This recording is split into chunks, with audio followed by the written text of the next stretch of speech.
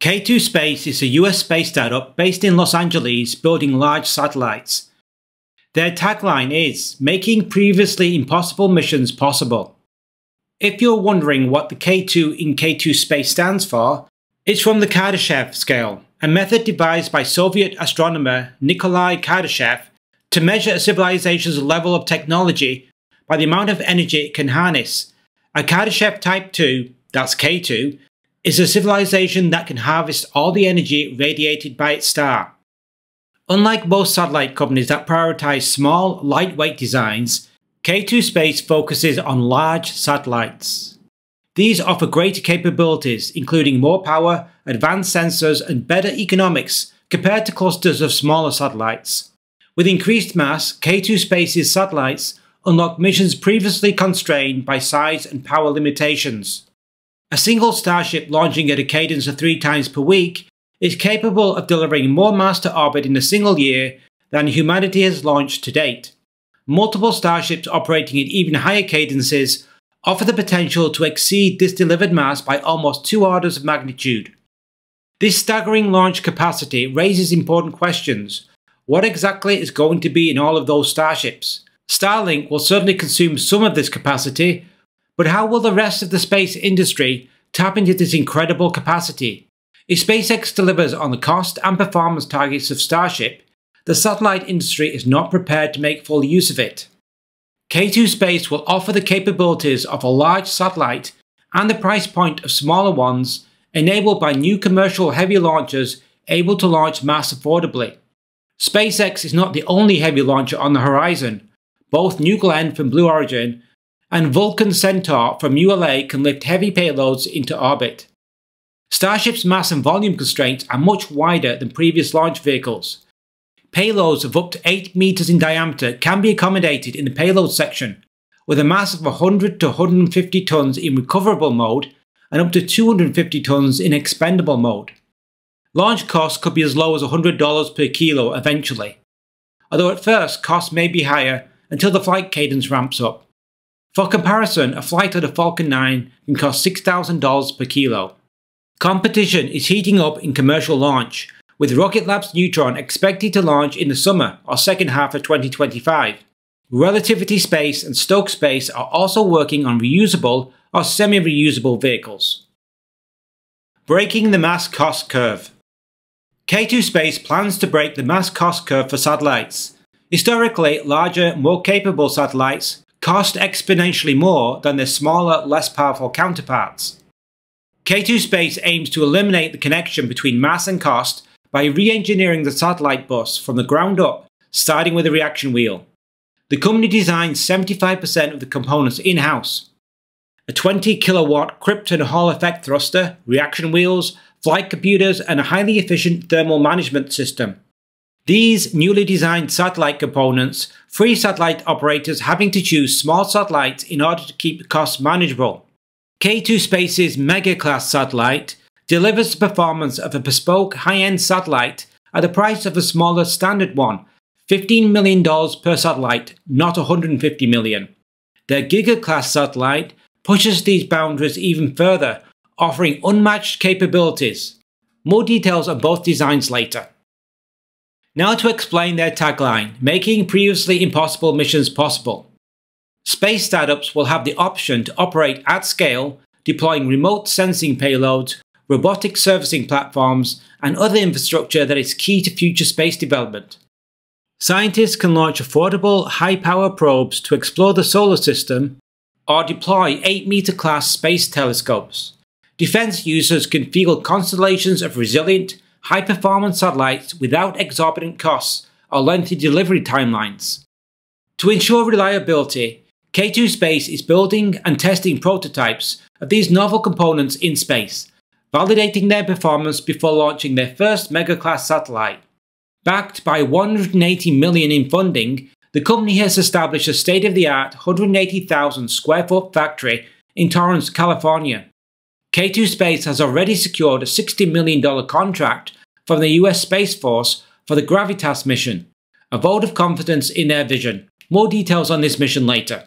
K2 Space's mega-class satellite bus, designed for up to 1 metric ton payload, redefines satellite capabilities with its expansive 27 meter, that's 89 foot, solar panel span. While everyone else is going small, K2 Space is going big. The startup is banking on SpaceX's Starship, a fully reusable super heavy lift launch vehicle, to reduce costs to $100 per kilo. Enough to make launching a 4.5 ton mega class satellite affordable. Although inspired by Starship, the mega class is launch vehicle agnostic, compatible with SpaceX's Falcon 9, Blue Origin's New Glenn, ULA's Vulcan Centaur, and similar systems, ensuring customers can choose their preferred launch vehicle. K2 Space equips the Mega class with the following features. Spacious payload deck. A 3 meter by 3 meter platform accommodates large or multiple sensors for Earth observation, communications, or other applications offering plenty of versatility. High power system. An in-house developed 20 kilowatt power system, 10 times more powerful than typical low-cost satellite buses, supporting high-performance payloads like advanced transponders, powerful radar or imaging systems. Electric propulsion. A 20 kilowatt Krypton Hall effect thruster, four times more powerful than existing systems, delivering 0.5 to 0.7 newtons of thrust and 2,500 meters per second delta V, enabling rapid orbit raising, for example low Earth orbit to medium Earth orbit in under 3 months. Radiation hardening. The bus withstands harsh environments like MEO's radiation belts and cislunar space, and cost-effective components. By using heavier, commercial off-the-shelf parts, K2 Space reduces costs without sacrificing any capabilities. Kunjur, the CEO of K2 Space, said about the larger satellite bus. On the sensing side, optical aperture size is everything adding that a bigger camera could allow operating at higher orbits for instance. Using larger apertures allows you to generate high resolution imaging at altitudes between 600 and 1500 kilometers, which require fewer satellites to have global coverage and in a less crowded orbit. He goes on to say, it will be the largest and highest power commercial satellite ever deployed in space. Unquote. The Mega class's stackable design allows up to 10 satellites on a Falcon 9 or 40 on a Starship, ideal for building constellations of satellites. K2 Space is developing the Giga class satellite bus, a massive platform designed to support a 15 metric ton payload and deliver over 115 kilowatts of power, making it the most powerful commercial satellite bus ever conceived. With an estimated total mass of 20 to 30 metric tons, the Giga class dwarfs the Mega class's 3 meter by 3 meter payload deck, likely featuring a 5 meter by 5 meter or larger platform to accommodate its ambitious capabilities. While exact dimensions remain undisclosed, the Giga class is explicitly designed to maximize the massive payload bays of super heavy lift launchers, such as SpaceX's Starship, which supports payloads of up to 8 meters in diameter, and Blue Origin's New Glenn, which accommodates payloads up to 7 meters. The affordability of Starship enables K2 Space to offer the Giga class at a groundbreaking $30 million, rivaling the cost of much smaller satellites. While Starship inspired the Giga class, other heavy lift launchers can deploy it, though with varying capacity. New Glenn can lift one or two Giga class satellites per launch. Vulcan Centaur's VC6 can carry one Giga class satellite using 6 GEM 63XL solid rocket boosters, but its 5.4 meter fairing may constrain larger configurations. Falcon Heavy supports 2 or 3 Giga class satellites, though its 4.6 meter fairing may limit designs exceeding 5 meters in diameter. Starship and New Glenn, with their expansive 8 meter and 7 meter fairings, are the primary launchers accommodating the Giga class expected 5 to 7 meter stow diameter and enabling missions unattainable with smaller vehicles like Falcon 9. Its large mass supports enhanced radiation shielding, protecting sensitive electronics from cosmic rays and ensuring long-term reliability. Medium Earth orbit's higher altitude and larger orbital volume makes Giga-class satellites harder to detect, track and destroy, a critical advantage for defense applications. Most anti-satellite weapons target LEO, leaving MEO satellites less vulnerable to kinetic threats. As K2 Space's Chief Business Officer, Clint Plum told Defense One. Instead of going smaller, we're going bigger, so building a very large satellite bus with a large payload mass and a tremendous amount of solar power and electrical power available to it. But then doing this for the radiation environment of medium Earth orbit, which is the highest radiation environment, as opposed to LEO, which is a much lower one. And doing it at the cost that up until now you would associate with a much smaller satellite. What if you could have a much more capable satellite at roughly the same cost as a much smaller one? Plum told Defense One. K2 plans to launch its first mega-class satellite in 2026. It's capable of holding up to 1,000 kilos of payload. Partly funded by the US Space Force, which paid 60 million for this demonstration mission called Gravitas.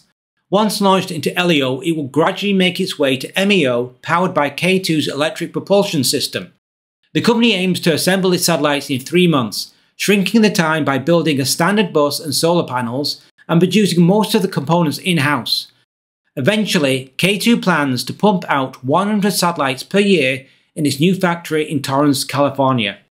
Upcoming events K2 Space's demonstration satellite, partially funded by the US Space Force, will be undergoing payload integration this month, that is May 2025, with qualification testing in the June to September period, setting it up to fly on SpaceX's Transporter 16 in early 2026.